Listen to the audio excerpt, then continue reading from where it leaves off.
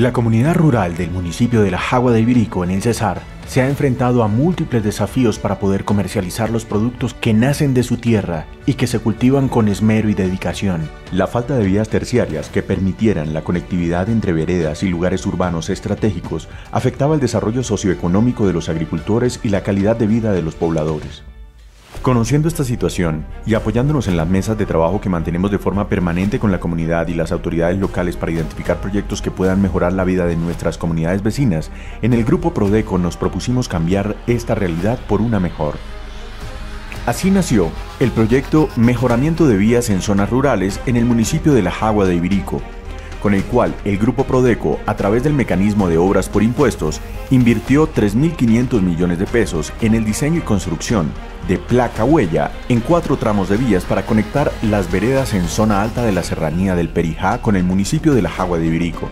El proyecto se desarrolló en una de las denominadas zonas más afectadas por el conflicto SOMAC, definida por el Gobierno Nacional para la ejecución del Programa de Desarrollo de Enfoque Territorial, PEDET. Esta inversión ayudará a potenciar la productividad rural, a fortalecer la comercialización de productos agrícolas y a mejorar la calidad de vida de los campesinos de la Jagua de Ibirico.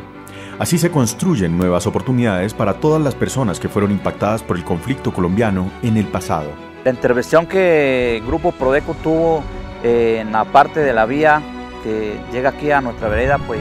era una parte muy crítica. Era, sabíamos que uno en el tiempo de lluvia no podíamos eh, subir, si en la mañana llovía, había que esperar. Que primero sus los carros eran un desadero muy difícil para bajar los carros y cuando eran mulas también era difícil. Esa es una vía intransitable porque es un, un terreno lodoso. Este es un buen ejemplo de cómo articular acciones concretas en territorios y comunidades mediante esquemas de valor compartido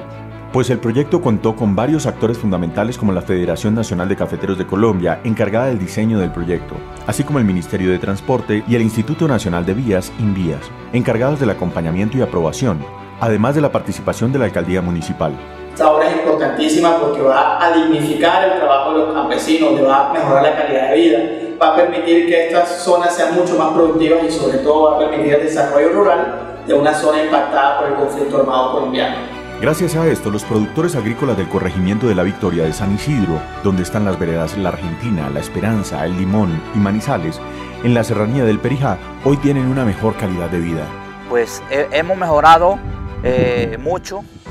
porque ya ahorita mismo eh, bajamos con más facilidad y, también la gente de la vereda está eh, sumamente agradecida de ver esta obra construida en ese tramo tan difícil que antes era y que ahorita lo vemos que pasamos lo más de bien. Accedes rápidamente a bajar los productos, no solamente el tema del café, que es el monocultivo, sino los productos como el tomate, como el cilantro, como el, eh, ají y otros productos alternos que estamos bajando en estos momentos. Yo le, agradezco mucho a, Prodeco que mejoró mucho esta vía de la esperanza, y ha mejorado mucho,